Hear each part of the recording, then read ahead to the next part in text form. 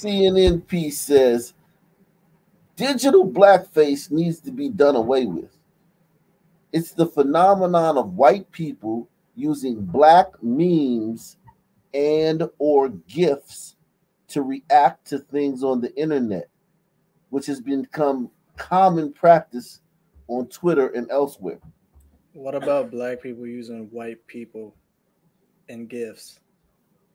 Well, most of the memes, they're saying that most of the memes, most of the gifts are black people, the cool ones, because you know we're very expressive. You know what I'm saying? We're very we're, so they're saying that they don't want out of one side of the mouth they're saying Oscar's so white and representation matters. and out the other side of the mouth they're saying don't use memes with black people. Yeah, this is some minstrels minstrelry right here. This is frustrating. Yeah, it's it's, it's so like, am I am I cool? Am I not? Like, are we yeah. cool? Are we not cool? We cool. They're just crazy. So we ain't cool. So we're not cool, but we're cool. No, we are. I'm cool. not cool, but we're not cool over here. But we're cool. No, right I'm gonna just let you know, Glidey. we're cool. This the left. The, the leftists are they're just nuts. That's all. No, yeah. I know. We I'm cool messing Mossy. I'm messing Mossy. Yeah, it's, it's, we, we eat ribs together. Hell yeah. it's it's it's it's crazy, man, and it's serious. Like, don't think that they're joking because sometimes gliders think, "Oh, crazy." Shit, they are serious. they ain't playing with this shit, man. They're fucking serious. They were talking about this for a long time. You just guys just haven't known. They've been bitching about this for a long time. It's exhausting, man. Black people wear you out, man. This is some nomadic oppression. We're gatekeeping gifts now.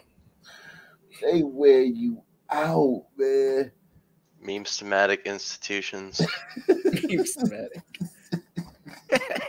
Yo, we we wear people, we wear people out. And we wonder why nobody wants us around, man. We we wonder.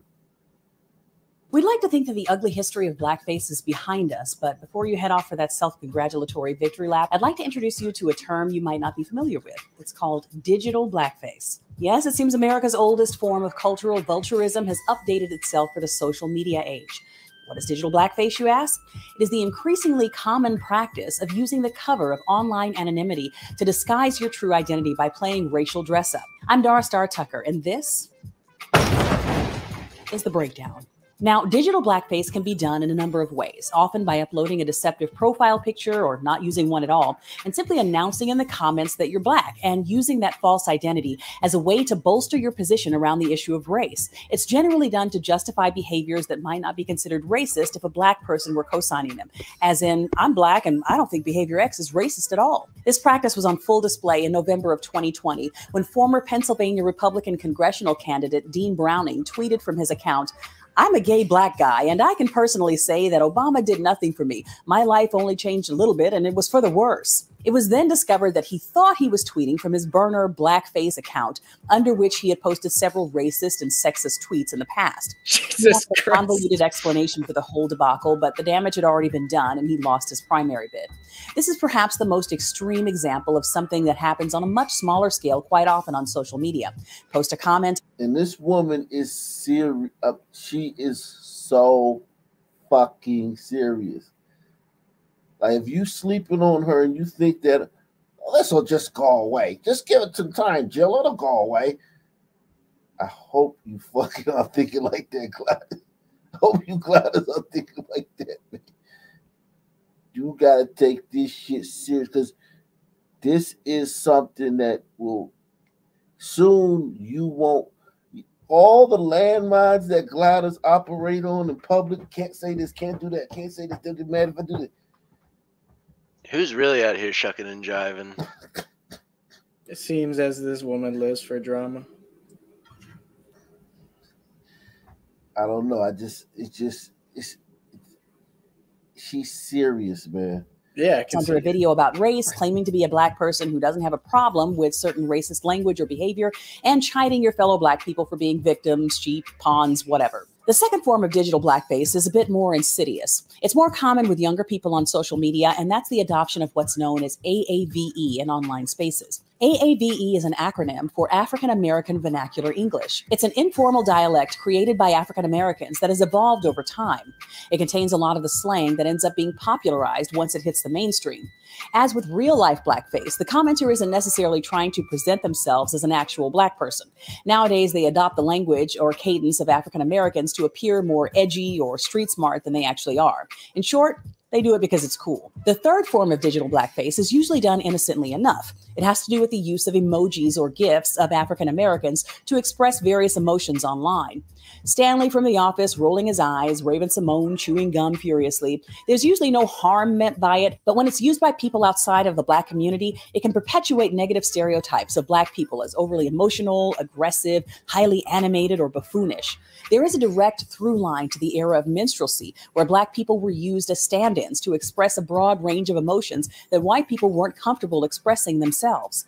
The important thing to remember is that blackface, whether done in the real world or online, doesn't necessarily have to possess ill intent in order to cause harm. Once you know better, you do better. In part two, I'll talk about a close cousin of blackface called So not, blackfishing. not only You may is not she think blackface- gatekeeping memes and gifs, she's also gatekeeping ebonics. When I'm talking like this, that's like to- digital blackface. Know I mean? Cut me They some are slack, Jack. so fucking serious that y'all in trouble, man. Y'all are tr- in trouble. You heard me? like with with with you ever how many y'all know how pythons like pythons they don't really like they squeeze you right but when you exhale and you inhale, then they squeeze again. So it's like you're really by breathing, you're actually killing yourself. Because when you inhale, they squeeze, and then now it's harder to take another breath, and then it's it progressively gets harder to take the next breath because each time you inhale, they squeeze more. And um, yeah, we that's what we're doing to y'all, man. Like There's no Every- brakes. There's We're no like- reverse gear. yeah, man. The train only Uh, goes in one direction, and they So blow up the track route behind itself. it. Yep, you gotta, you gotta, you, you, and and I hope you don't think this is a joke. Hope you don't think it's just you gonna wake up tomorrow and it's gonna be, nah, this ain't going nowhere. It's time for the mic drop on each show by going deep on one topic affecting our community and hopes we can all learn a little more. Blackface has gone digital, y'all. That's a sentence I never thought I would say, but I guess it was just a matter of time. When I was coming up, AI or artificial intelligence, man made computers and machines was something you only heard about or saw in movies or on television. And we had a favorite because, for the most part, they were cute and they were here to help. So AI for me was this or this. Uh, how about a little of this? There you go. And of course, this. A little Optimus Prime. These were the ideas of AI that most of us grew up with. So I don't know about you, but I couldn't wait for real life AI to come along. I mean, sure, sometimes they gave us this, but I mean, you know, he was a hero in the second movie. He also gave us Kindergarten Cop, so I was good with it. What skinny glasses wearing kid wouldn't want to have a Cyberdyne Systems T800 to hang out with? Well, guess what, people? AI is here, and it looks like this. Yeah, meet FN Meka, the world's first AI virtual rapper. Now, I don't know if he's got bars. I'm gonna go ahead and assume he doesn't. Fucking guy's My. God. Yeah, he's annoying. What a technology wrought. digital blackface, and you may have heard of it. The Slow Factory Foundation posted this on Instagram recently, explaining exactly what it is. They say it's an online phenomenon where white and non-black people share um, gifs and photos of black folks to express emotion or reaction to anything, on the internet. But they're hardly the first to bring this up. We've seen Refinery 29 articles and Mhm. um, other articles from other magazines that have talked about this as back as 2017. Um, but it's come back up again because of the Oprah and Harry and Meghan interview and Oprah Winfrey's reactions to some of the things that Meghan Markle and Prince Harry were saying. And so people have been using memes and gifs of her facial expressions and reactions during the sit down. But as we're coming to learn, uh, by some people are saying that doesn't mean you should always be using them Hmm. um, just because they're being put out there. Well, this is all right. Well, let's get into this. Uh, we have two doctors with us Dr. Uh, Aaron Smith of the Fucking losers. I mean, golly, man. And this is why I talk about gliders the way I do. Because, yo, you couldn't get away with this in Mexico. We wouldn't be able to do this in El Salvador. We wouldn't be able to do this in Honduras. We wouldn't be able to do this in Saudi Arabia. We wouldn't be able to do this in Qatar or fucking China or fucking Indonesia. We wouldn't be able to do this nowhere. We wouldn't be able to do this shit in fucking Nigeria, fucking Uganda. The only place we can do this shit is Great Britain, um, fucking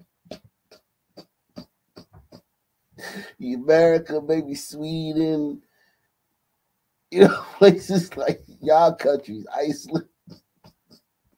What's up, Fabian, man? What's going on, man? Hey, how's it going? I just What's- settled in. What you think about digital blackface, man? I mean, yeah, it's uh it's just another step in the same direction. It's just the next the next iteration of the same script. I mean, it's the same script as like school integration, you know. Segregation. no integration. yeah, you're not allowed you're not allowed to have your own spaces. You're not allowed to not a lot of this, not a lot of that. I mean, the reason I mean the fact that the fact that some people are made the face of this, it's like it's it's not just made it's not tailored just to their material benefit, it's tailored to their psychology because they don't we know it's typical not to self-regulate, to expect access to resources, not to question whether or not you deserve access to resources, regardless of whether it makes any sense that you have it. And so it's just a match made in heaven. These these these kind of scripts and pro, like these people are being platformed. Like these Sun people didn't just like build their own TV studio and their own t- you know entertainment empire and put themselves out there. They're being put up as the face of these messages. Hmm. Yeah, I mean, um, whew, it's just, it's just, I, I, I just think that you guys don't really know how much shit y'all are. the Department of Africology and African American Studies at Temple University. Always great to see you, Doctor, and Dr. Charles Gallagher, uh, chair of the Sociology and Criminal Justice Department over at LaSalle University. Hello, doctors. Hello. Morning. Good morning. Um, I don't know exactly where to start. So, Dr. Smith, is this a thing? Well, I think it's important to note that blackface is a thing. Sure. And the history of blackface really hasn't been reconciled in the country or for the people who were exploited and marginalized and culturally appropriated. I think that's the bigger issue. I think people like to prune a problem, but you got to get to the root and the truth to really find solutions. And I guess the thought is if they're calling it digital blackface, it's the fact that you're using black people as an emotion. And that might be uh, the concern here, Dr. Smith. Yeah, I think it goes beyond engagement when there's not a comparable engagement in the real world, but then there's this overemphasis and overutilization of representation in digital space. So I don't really think the memes are that big of a deal, but what the memes conjure up, what they trigger, and what they connect with, I think that history is why people are up in arms about This digital basketball face is the biggest threat to the nation. Who the hell's up in arms? These intellectual, these black intellect, the average black person, of course, you know, doesn't even know what digital blackface is. If you did a man on the street in fucking Harlem, nobody would know what the fuck you were talking about.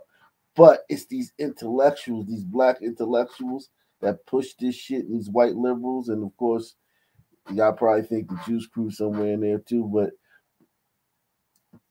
this stuff gets pushed, and then soon once it hits the mainstream of black people, then you make a meme and you go to work on Monday and your fucking um little code that you in the fucking clock in don't work.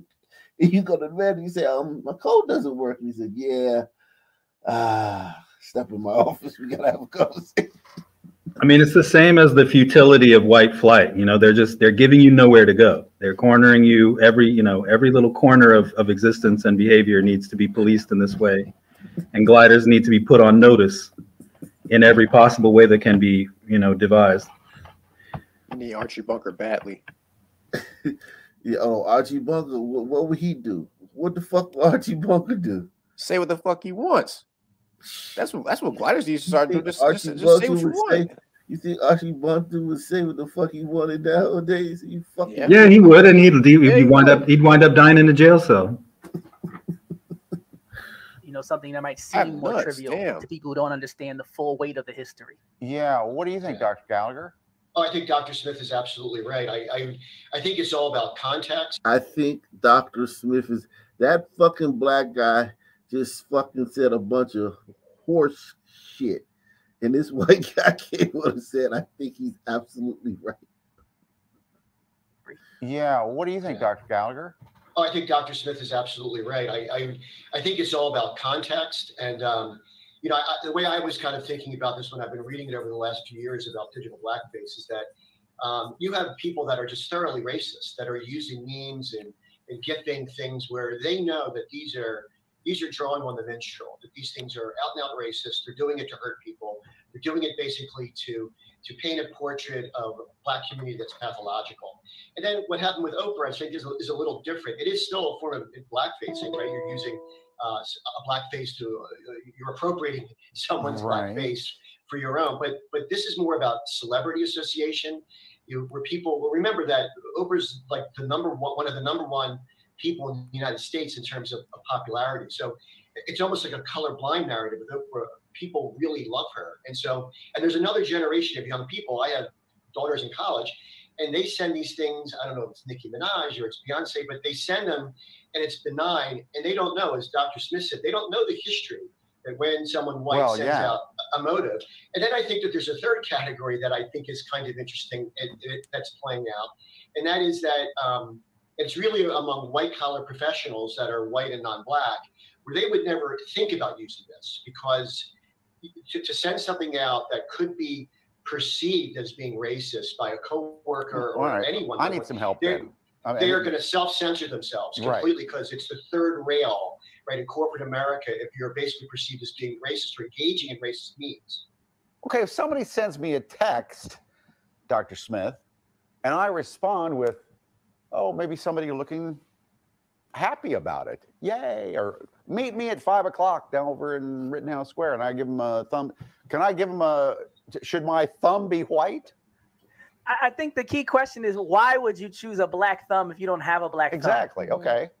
Damn. See, this is where you gliders mess up. He's basically now asking the pasty liberal and the black moron, okay, now tell me how to behave properly so I don't piss you off. When he should really be saying, man, get the fuck out of here. Next segment.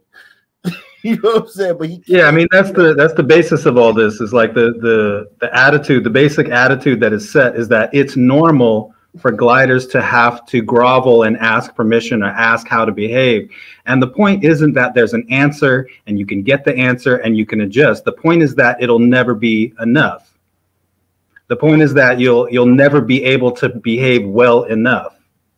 And so you're just your life is just filled with dread and anxiety and the uh, you know the the SWAT team is coming ever and ever and ever closer all the time and encroaching into ever more intimate spaces of and benign kinds of behavior and activity. And the thing about like sending those emojis and stuff like that, it's not. Yeah, that's the, I mean the whole the whole like reason why people do that. It's like part of it. I think there's a bit of a backlash about like some people have been made the object of such worship, have been so pedestalized, and you can't, as a glider, you can't complain about that or else you get in trouble. And that's kind of part of why that's happening. It's like, look at how much we're going to pedestalize these people. And if you live around them, you know how they behave and you know the dissonance involved in that. But if you say anything about it, you're done. So I dare you, go ahead. So, one way that a lot of gliders have been able to let off the steam of that dissidence is by exemplifying and accentuating the ways, the real ways that they see Sun people behaving in the world as distinct from the ways that they're deified, which has to do with just going online and spamming out real Sun stuff, real Sun emotion, real Sun sentiment, real Sun behavior. Yeah, yeah. And when kind of adopting three it. It's, it's a way of blowing off fighting in the middle of the street. You know, it clashes with the uh, the black girl magic thing. Yeah, the whole like we invented everything and we're geniuses and we invented spaceships and we invented language and bathing. And then you just look how people behave in their everyday lives and there's a dissonance there. So the things about the emojis and the like man on the street, like sun person in the ghetto reaction and stuff is just like, wait a minute. This is how these people that are supposed to be the ultimate cosmic geniuses actually behave. And the emoji stuff is just a way to like put it out there without, you know, without being terribly overt about it. Because of course, if you're if you just say what you think, then you're in trouble.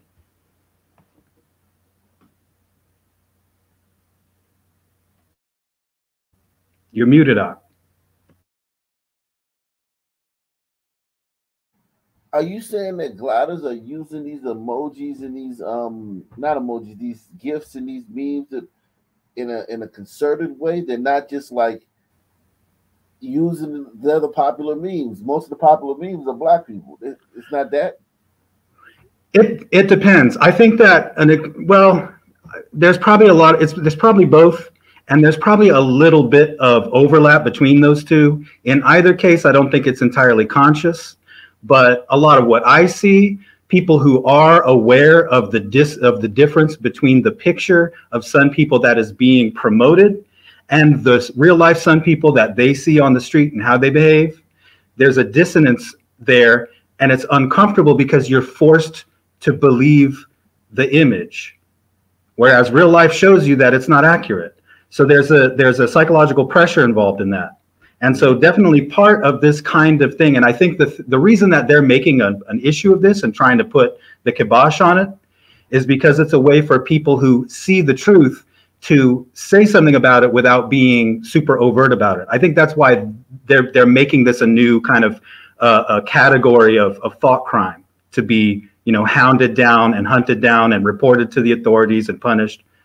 Because a lot of gliders are using uh, sort of black coded memes as a way to let off the steam of that dissidence by saying we all know how these people actually behave. It's like, oh god damn ain't nobody got time for that. You know, it's like, oh shit, I might I might fuck around and and uh, populate and uh, colonize space in the second round. I might build some pyramids. Of, shoot, I need some check. I need to get my nails did, but after that, shoot, I might build some new pyramids up in here. You know, people know. People obviously know that there's a dissonance between these images. We invented everything. We're the geniuses. We created language. The only reason you know how to wash your balls is because we came up from Africa and showed you.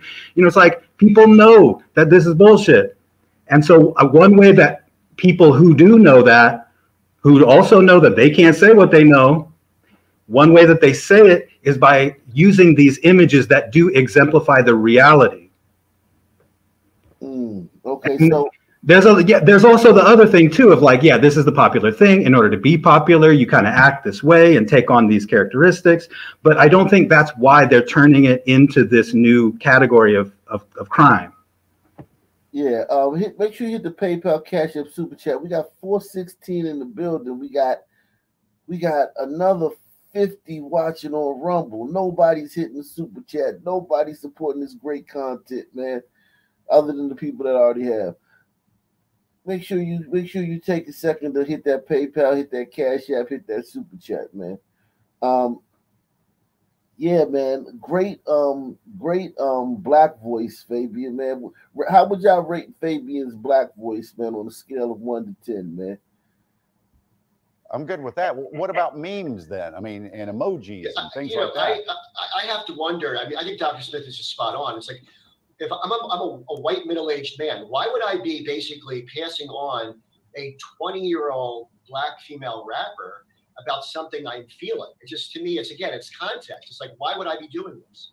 And what's interesting is when I was reading about it, it's also for people who um, do have an issue with it. They were saying it's the thing of using black people to express intense emotion about something, which kind of traces back. They said, why, you know, if you're Mhm, excited, yeah. why does it have to be a black person, you know, jumping up and down or snapping their fingers or moving their neck, um, that kind of thing. And that's what they're concerned about, constantly using black people as a way to express intense things. When in real life, a lot of black people feel like they can't be intense with their emotions because it's perceived as a Mm, threat right. or perceived as Oh yeah, we see that a lot. In real life, black people can't be intense with their emotions because it's perceived as a real threat. But in a few words, exactly what Fabian just said. I mean, like literally, like that's the opposite of everybody's everyday observations of some people. I can't believe. And here's the thing: watch it go completely unchecked. No one will even roll their eyes, or no one even like, like. And I know these people are woke, but no one even just like. It's hard to not. To No one even blinked at that one. Yeah, like what he said. How can you not like spit your water out at what she 'Cause it- just said? They just sit there like trained seals and they or or or or or and they clap. And the, And- the story before was like, you know, two sisters having to be carried off of a plane log style because they're attacking everybody on it. traces Right, because the lady why- didn't you know, ran out of headphones. Yeah. they were saying it's the thing of using black people to express intense emotion about something which kind of traces back. They said why you know if you're Mhm, excited yeah. why does it have to be a black person you know jumping up and down or snapping their fingers or moving their neck? Um, that kind of thing. And that's what they're concerned about constantly using black people as a way to express intense things when in real life a lot of black people feel like they can't be intense with their emotions because it's perceived as a Mm. threat Right. or perceived as doing too much. What would you say to that then dr smith? Like where the it can sometimes cross over Yeah, and I think it's really interesting that you said that because even the point about Oprah, people do view her as, you know, some type of celebrity that transcends color. Mhm. But if you ask Oprah about her life, she's been a black woman all her life, and it's made a lot of impact in the doors that have been closed in her face and the way that she's treated Doors have been closed in Oprah's face. This woman has her own network. She literally has her own network, and it's called Own. She's one of the. She's one of. I think before what Mackenzie Scott divorced um Jeff Bezos. Wasn't Oprah like the richest woman in the fucking country? Like, what the fuck? There are doors being slammed in Oprah's face? And he gets to say that unchecked? The point about Oprah, people do view her as, you know, some type of celebrity that transcends color. Mhm. But if you ask Oprah about her life, she's been a black woman all her life, and it's made a lot of impact in the doors that have been closed in her face and the way that she's treated, even as though even when she's rich. So a lot of people feel as though there's this level at which you can escape racism and escape race and be colorblind. But to the community that people are, you know, casting in this category, they don't feel that way. And it's interesting to see that they're not really seen, but they're being used at the same time. You know, one that I've seen for years now is the Michael Jordan crying. You know, if, if you want to, like Dr. Mhm. Gallagher, you they know, put it on it says, everything yeah uh, if I want to respond to, you know, I'm really upset about something, y- you see that sent by a lot of people. Right, and I think that you know this again back to what Dr. Smith said. I think is is is on target. Is that you know it's it, it- you send this out and and again it's intent, right? So the context matters, but people it's completely ahistorical. People don't understand that Mhm. the emotive black person, right? The over emotive black person, the sassy black person, right? The loud black person, right? These are tropes that have been used over and over in the minstrel and also on television shows. I mean, Oh, God, you know, go back to Urkel and you know Dynamite with JJ. I mean, they've been Urkel. Oh, yeah, my that's how most black people act, like God. Urkel.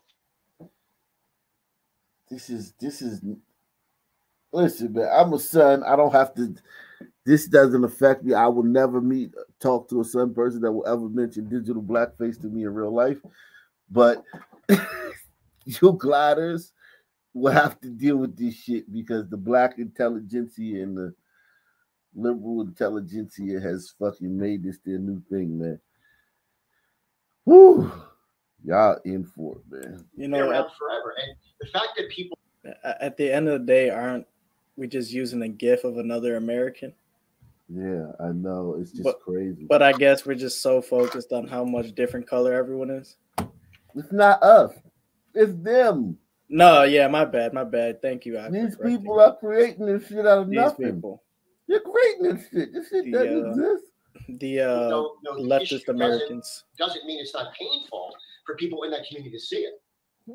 So I guess where do we go from here then? I guess just think twice or make sure you're before you tweet stuff out. I don't know. I, I'm in the point now though. If someone says it's, it's offensive, like this uh, couple groups in the articles, I'm like, should we just shy away? I, I'm not. I'm going to only send white gifs. I think impact. Yikes. And then it comes, then here's the thing 10 years from now, when they like have GIF a GIF of the year or meme of the year, the most popular memes of this year, the 10 MTV, uh, the, the top 100 memes of 2029, the top 10 gifts of 2030, and they're all white then you're gonna have these same some people coming back and bitching and moaning about how why they're not being um included. GIF award. That's why they so you white. see. Yeah, by then they just have to make sure all the memes can be can be black, but they just have to make sure that everybody involved in the show is black. All the everybody in the audience is because all the gliders went to jail for digital blackface, so they don't they're not involved in. You know what I'm saying? yeah, man. Salute to um Vanessa, man. Vanessa coming through, man. You said mental illness is growing in the black community. Yeah, I, I mean, this is this is evilness. This is bullying. I wouldn't even call this mental illness. I would call this this is bullying gliders. They know that gliders, they got gliders on the ropes. It's like when you gliders on the ropes and their their guards are down and they just they they half they punch drunk and we just and, and the ref is knocked out. the, the ref is knocked out. Nobody to stop the fight. We just wailing on gliders. just fucking giving it to y'all, man. That's what's going on, man. This is bullying, man. This is like straight out the Marxist textbook, just kind of bringing an issue that's not actually there. It's just media making up an issue at this point. Yeah, salute to Doug G, man. He says, Hi, Op, challenge time. I'll pony up. Not using images for memes? All right. Next, can we address double standards? I know. I crack me up too. Yeah, I mean, the, listen. Go on here and talk about a double standard. I mean, the a collective gasp. What do you mean double standard? And they'll know what you mean instantly if you said double standard on here. They would instantly know what you mean. Then they would talk about, well, the history and your privilege. And of course, you would say that uh, the, the, the double standard. There's no such thing. Black people can't be double standard. Listen, man, gliders know they can't talk like that. They can't use terms like double standard around some people.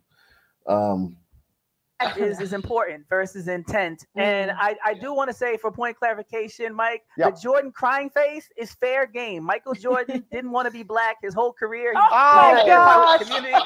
oh my God, What a loser. God damn it. black. Michael Jordan is Michael Jordan. Have you seen Michael Jordan's kids? He's the only basketball player that don't have beige kids. he's, the only, he's like the only basketball player that don't have kids that look like fucking Raven-Symoné and fucking like, little fucking half gliders, man. What is like the thought process of this man? Like even What are they talking about? That's what I'm saying. Like, what is this? Guy's a weakling. He didn't want. To, he didn't choose to be black. Like, What do you mean choose to be black? He's the only NBA player who fucking owns a basketball team. None of these niggas making all this money ever fucking bought a team. Had enough sense to buy. He the only one that had enough sense to buy a fucking team. What the fuck is this guy talking about? Because he, you know what? Wow. Let me tell you. Let me tell you how stupid. I, God damn, I hate some people, man. Um, I hate some people, man. Um, with sometimes, and I hate to say that, um, because people can hear that and be like, "See, I told you, man, he hate doing people, man." But it's like, man, y'all, y'all are exhausted, man. Um, y'all are just really, really, really.